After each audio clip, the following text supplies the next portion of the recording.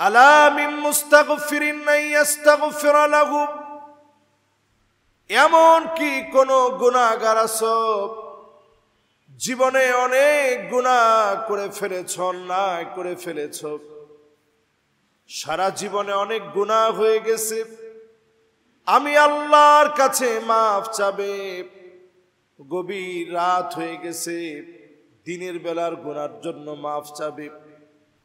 ইন্নাল্লাহ ইয়াবসুতু ইয়াদাহু বিল্লাইল লিয়াতুবা মুসিউন নাহার। দিনের বেলার গুনার জন্য মাফ চাবে। রাত হয়ে গেছে এখন।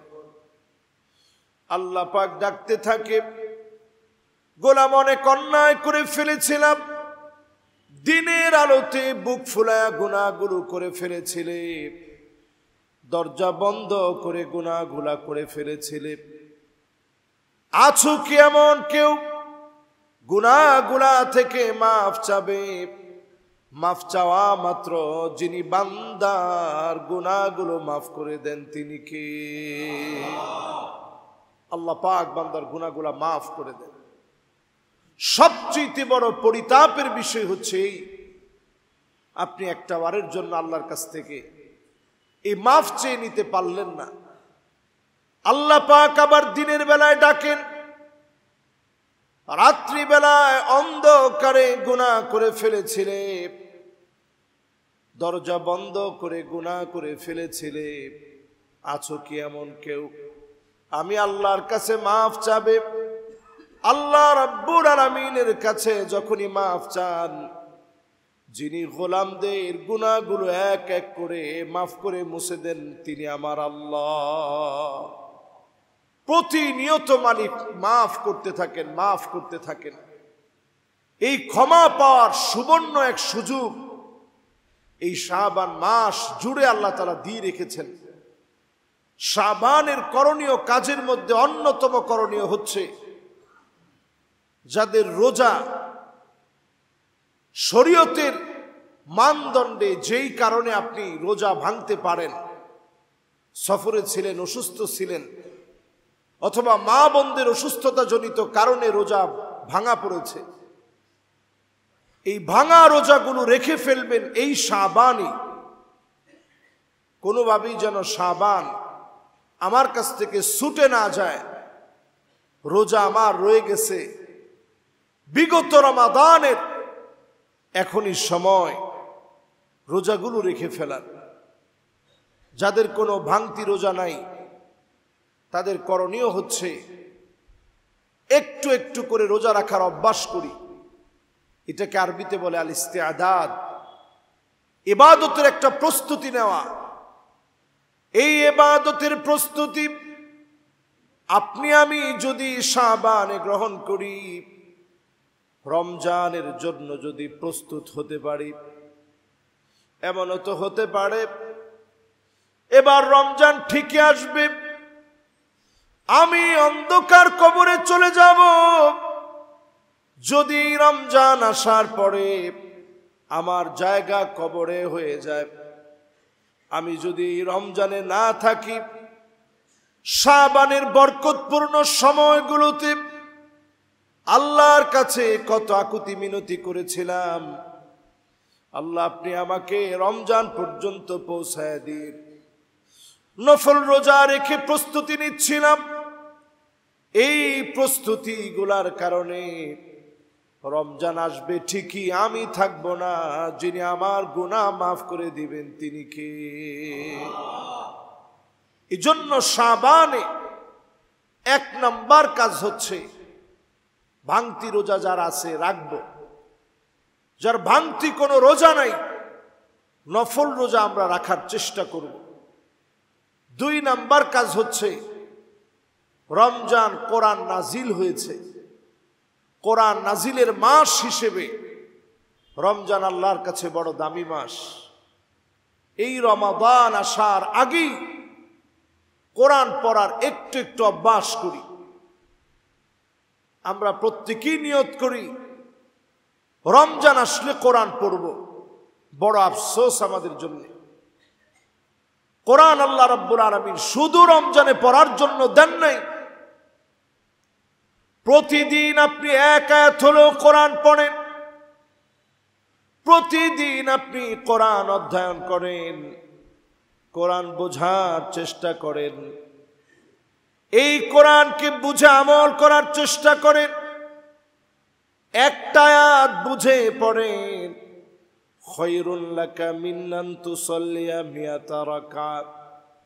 একশো রাকাত নামাজ পড়লে যেমন সব হবে, এর চাইতে বেশি সব যিনি বান্দার আমল নামায় দিয়ে দিবেন তিনি কে? শুধু একটু চেষ্টা করেন কোরআন বোঝার জন্যে। অনেকে বলবেন, হুজুর, কোরআন তো হুজুর এখনও পারলাম না। দেখেন, আমরা অনেকেই মনে করি যে আরবি ভাষাটা অনেক কঠিন, এটা আমারে দিয়ে হবে না। সব আমারে দিয়ে হয়েছে দুনিয়ার কত কঠিন কঠিন ভাষা বাংলাদেশিরা আয়ত্ত করছে, আপনি পৃথিবীতে ঘুরলে দেখবেন। সব আমরা আয়ত্ত করতে পারি। কিন্তু কোরআনটা আমি পড়তে পারি না। যে কোরআন আমার চোখ বন্ধ হওয়ার পর থেকে নিয়ে সঙ্গী হিসাবে আলো হয়ে জ্বলবে, যে কোরআন আমার জন্য সাফাত করবে। আসিয়ামু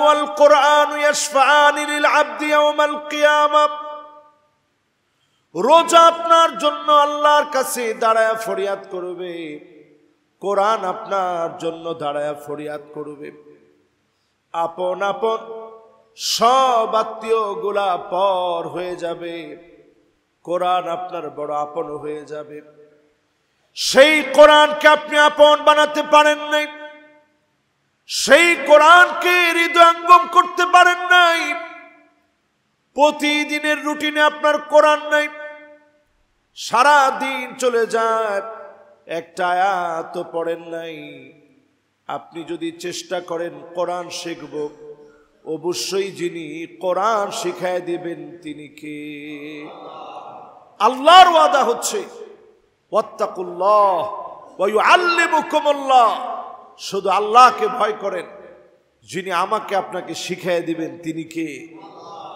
রসুলের কাছে একজন সাহাবি আসছে, বয়স পঁচাশি কি নব্বই হবে। তাহলে আমাদের চাইতে কম বয়স না বেশি? নব্বই বছরের কেউ এখানে আসেন আমার কাছে তো মনে হয় না। কেউ আসেন একজনও নব্বই বছরের লোক নেই। রসুলের কাছে আসছেন এই বয়সে। এসে বলতেছে, আক্রিনি মিনাল কোরআন। রসুল কোরআন থেকে কিছু একটা আমারে পড়ায় দেন। তো নবীজি আগেই চিন্তা করলেন যে তার ধৈর্যটা কেমন একটু দেখি। দেখেন রসুল কত ব্যস্ত ছিলেন। কিন্তু কোরআন শেখানোর জন্য কেমন উদার। রসুল বললেন, ঠিক আছে, আসেন, পড়ি। আলিফ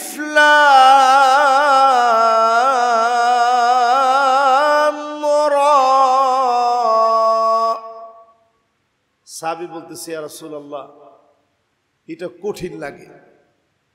বড় সুরা হবে, এটা আমি পারব না, আমার বয়স হয়ে গেছে। রসুল বললেন, ঠিক আছে, তাইলে আসেন পড়ি। হামিম।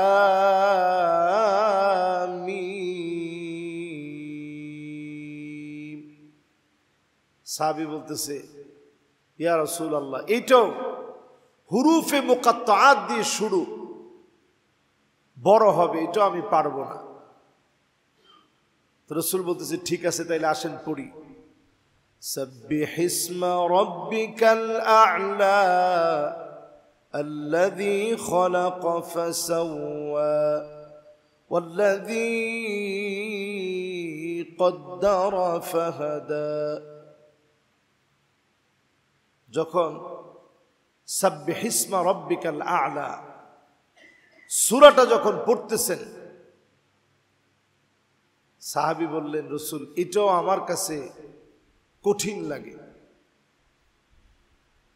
তো নবীজি বললেন ঠিক আছে তাইলে আসেন শিখি إذا زلزلت الأرض زلزالها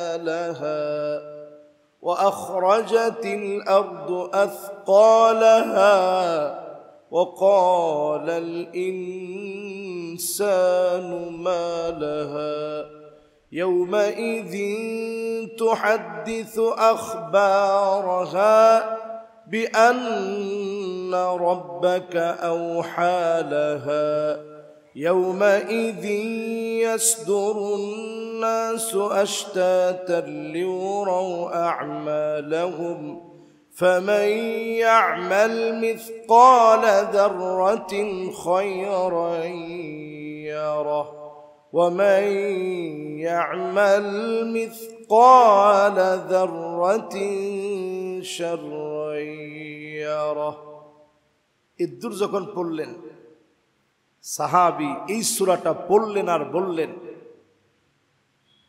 নবী ওয়াল্লাযী ওই আল্লাহ শপথ করে বলতেছি, নাফসি বিয়াদিহি, যার হাতে আমার প্রাণ, লা আজিদু আলাইহা আবাদা। জীবনে কোনো দিন এই সুরার উপরে আর কিছু বাড়াবো না। আমল করার চেষ্টা করব, কমতি করব না। এই সুরা মেনে জীবন পরিবর্তনের চেষ্টা করব। সাহাবি যখনই বললেন, আল্লাহ নবী, সাহাবি চলে যাওয়ার সময় অন্যান্য সাহাবিদেরকে দেখে বললেন, সাহাবিরা দেখো, এই বৃদ্ধ লোকটি যে এসেছিল কোরআন শেখার জন্যে একটা সোরার উপরে যদি আমল করে, যেমন তিনি বললেন, ওই রকম যদি আমল করে অবশ্যই যিনি লোকটাকে জান্নাতি বানায় দিবেন, তিনি কে? একটা সুরা যদি আমার আপনার ঠিকানা আল্লাহর জান্নাতে করে দেয়, তাহলে চিন্তা করেন কোরআন কত বেশি পড়া দরকার। আল কোরআন ঘিনান, লা ফাকরা বাদাহু ওয়ালা ঘিনান দুনাহু। এই কোরআন হচ্ছে ধনী করার জন্য আসছে। আমাকে আপনাকে ধনী বানাবে এই কোরআন। এই জন্যই কোরআন আসছে। এই কোরআন ছাড়া মুসলমানদের ধনী হওয়ার কোনো উপায় নেই। মুসলমানের দিল তো ধনী হবে, কোরআন পড়ার পরে। অভাব তো দূর হবে, কোরআন পড়ার পরে। মন তো তুষ্ট হবে, কোরআন পড়ার পরে। বড় আফসোস আমাদের জন্যে। আমরা অধিকাংশ মুসলমান কোরআন পড়তে জানি না। এই রমাদনে নিয়ত করবেন এখন থেকেই। কোরআন শিখব, রাজি আছেন ইনশাল্লাহ এরপরে আমার ভাইয়েরা, এই শাবান মাসে অন্যতম একটা প্র্যাকটিস হওয়া চাই। অধিক পরিমাণে রাত জাগার অভ্যাস করা। না পারেন, দুই রাকাতই পড়েন। আরেকটু বেশি পারলে চার রাকাত পড়েন। আরেকটু বেশি পারলে ছয় রাকাত পড়েন আরেকটু বেশি পারলে আট রাকাত পড়েন।